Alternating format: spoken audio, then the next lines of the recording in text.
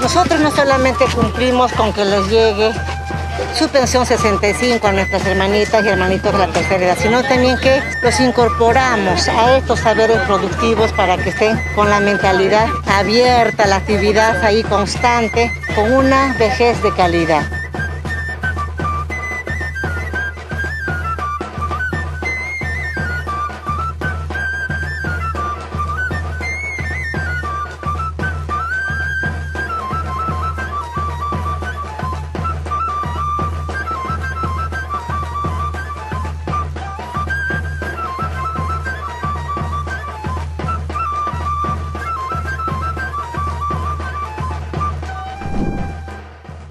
Ministerio de Desarrollo e Inclusión Social.